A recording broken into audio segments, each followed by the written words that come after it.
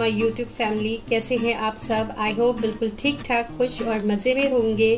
आज मैं आपके लिए बहुत ही डिलीशियस मसाला एग करी की रेसिपी लेके आई हूँ। मैं रेसिपी शेयर करने से पहले पहले जो लोग अभी मेरे चैनल को सब्सक्राइब नहीं किए हैं, जल्दी से सब्सक्राइब कर दे और बेल आइकन को ज़रूर प्रेस कीजिए कि मेरी आने वाली कोई भी वीडियो आपसे मिस ना हो।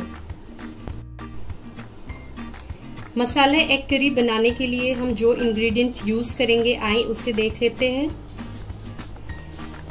Finally chopped onion three medium size tomato puree तीन टमाटर की बनाई है मैंने boiled egg five to six red chilli to taste salt to taste cumin half teaspoon coriander leaf chopped one tablespoon coriander powder one tablespoon turmeric powder one fourth teaspoon kasuri methi one teaspoon ginger garlic paste two tablespoon saunf powder one teaspoon garam masala powder half teaspoon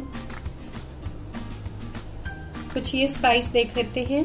दो हरी मिर्च, दो लाल मिर्चा है dry red chilli तीन लौंग दो हरी इलायची, दो से तीन छोटे छोटे दालचीनी के टुकड़े, वन इंच अराउंड होने चाहिए तो आई चले, कुकिंग को स्टार्ट करते हैं। अराउंड एट टेबल स्पून मैंने मस्टर्ड ऑयल लिया और ये गर्म हो गया है अच्छे से तो अब इसमें हम एग को फ्राई करेंगे। आई चले एग्स इसमें ऐड करते हैं। तो एग्स को लाइट गोल्डन ब्राउन फ्राई कर लीजिए अच्छे से और फिर इसको निकाल लीजिएगा और फिर इसमें हम अपनी ग्रेवी को प्रिपेयर करेंगे।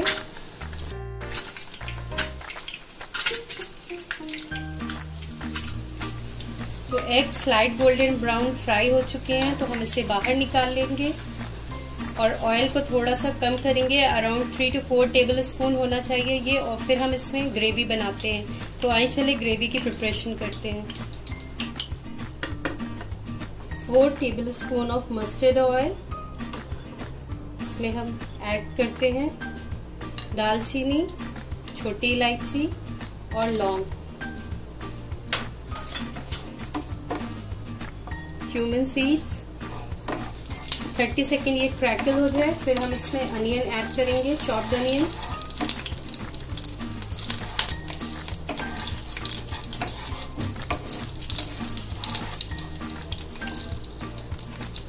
dry chilli onions को ऐड करते हैं।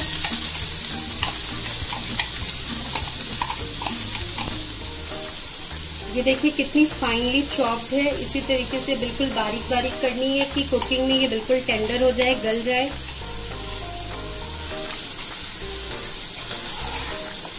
थोड़ा सा ट्रांसलूसेंट हो जाए लाइट पिंक कलर की, तब तक हमें इसे कुक करना है।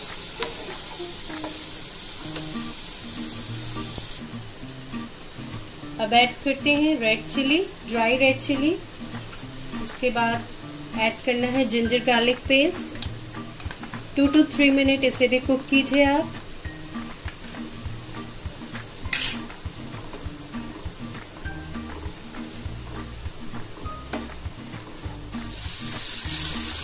लाइट सा फ्राई कर लीजिए, हल्का सा प्याज गोल्डन कलर लेके आए. प्याज का कलर गोल्डन चेंज हो जाए लाइट गोल्डन फिर हम इसमें टमाटो प्यूरी ऐड करेंगे। तो चलिए लाइट गोल्डन तक फ्राई करते हैं इसे। लाइट गोल्डन कलर आ गया है प्याज का तो अब इसमें ऐड करते हैं टमाटो प्यूरी।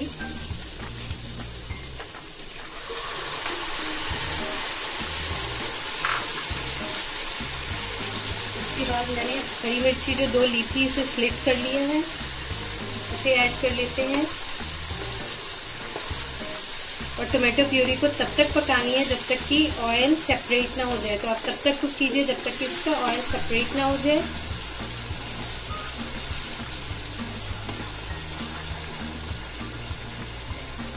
सॉफ्ट powder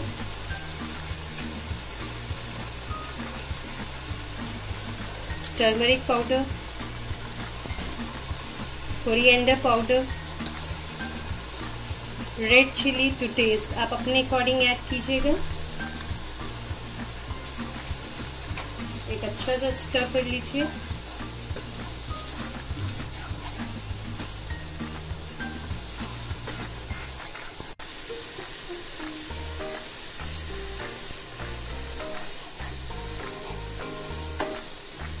इसे बहुत अच्छे से आप कुक करना है। मैं इसमें थोड़ा सा पानी ऐड करूँगी बट उसको आप थोड़ा सा पहले माइक्रोवेव में गरम कर लीजिए। ल्यूक वॉम वाटर इसमें मैं ऐड करने जा रही हूँ हाफ़ कप और टोमेटो प्यूरी को तब तक कुक करना है जब तक ये ऑयल सेपरेट ना हो जाए इसमें से। स्लो फ्लेम पे कुक करते रहिए तो आए चले। मेरे पास lukewarm water half cup है, इसे ऐड कर देते हैं।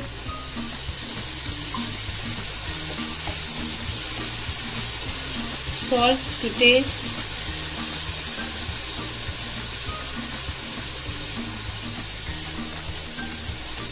slow flame पे इसे कुक करेंगे और वेट करेंगे कि इससे ऑयल सेपरेट हो जाए। तो आए चले कुक करते हैं। ये देखिए, टमाटर बहुत अच्छे से कुक हो चुका है ड्राई हो गया है। फिर भी हमें थोड़ा सा और इसे कुक करना है कि हमें हर तरफ़ से ऑयल सेपरेट सेपरेट नज़र आए। तो उसके लिए भी थोड़ा सा पाँच मिनट और मज़ीद हम इसे कुक करेंगे। तो आप कॉर्नर्स पे देख सकते हैं कि ऑयल सेपरेट हो चुके हैं। तो इसमें अब हम वाटर ऐड करेंगे। मैं दो कप पानी ऐड करूँगी इसमें, एक कप।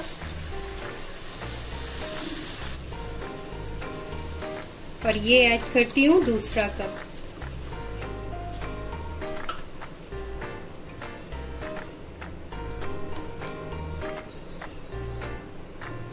ग्रेवी इसकी बहुत ही फ्लोई कंसिस्टेंसी में नहीं रखना है, ये थोड़ी थिक ग्रेवी ही अच्छी लगती है।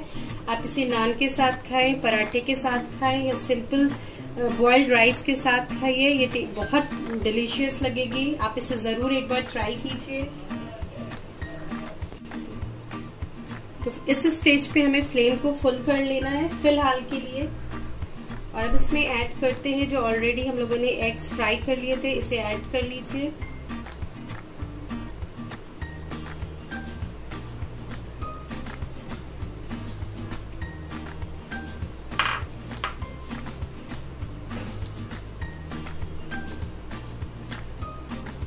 इसमें ऐड करते हैं garam masala powder,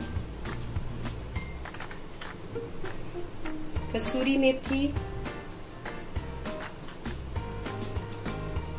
coriander leaves, हरा धनिया ऐड कीजिए।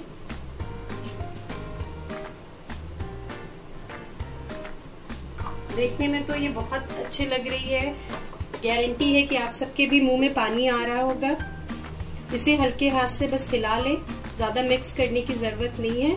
और इसे स्लो फ्लेम पे, बिल्कुल लो फ्लेम पे हमें maximum seven to eight minutes cook कर लेना है। तो आई चले, मिलती हूँ आपसे एट टू टेन मिनट्स के बाद। तो एग करी अच्छे से कुक हो चुकी है। सबसे पहले फ्लेम को ऑफ़ कर देते हैं।